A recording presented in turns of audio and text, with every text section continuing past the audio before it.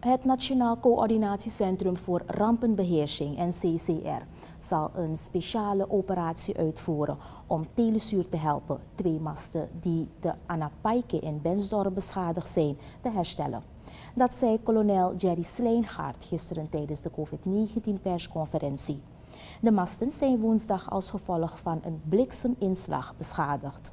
Hoewel verplaatsingen op de rivier helemaal is afgesloten, is er toch een opening dat operaties met een spoedeisend karakter wel kunnen worden uitgevoerd. Herstel van de masten zijn van belang omdat de gebieden niet mogen worden afgesloten van communicatie, benadrukt Sleengaard.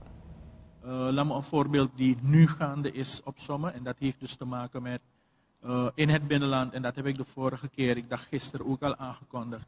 Dat wij in een periode komen waar er veel onweer is. veel regens in het binnenland. Zo hebben wij dus in het zuidoosten van Suriname gisteren veel onweer gehad. En vanwege blikseminslag zijn er zijn twee masten van Telesuur. Dat is de mast Bensdorp en de mast Anapaike, Kawamhaken. Die zijn, daar is de apparatuur van beschadigd. En het betekent dus dat wij een operatie zullen moeten uitvoeren om dus dit te kunnen uh, herstellen. Want anders hebben we een probleem met communicatie. Uh, kijk, dat soort verkeer, dat zal natuurlijk worden toegestaan. En dat zal dus uh, dat is om de mensen dus de ontsluiting van het binnenland te blijven, te blijven handhaven. Slijngaard zei verder dat er ook rekening is gehouden met de gevolgen van de volledige afsluiting van het binnenland. Een van de uitdagingen voor de binnenlandbewoners is de toegang tot basisgoederen. Uh, er is een vraag gesteld als er dus voeding zal worden verzorgd voor de mensen.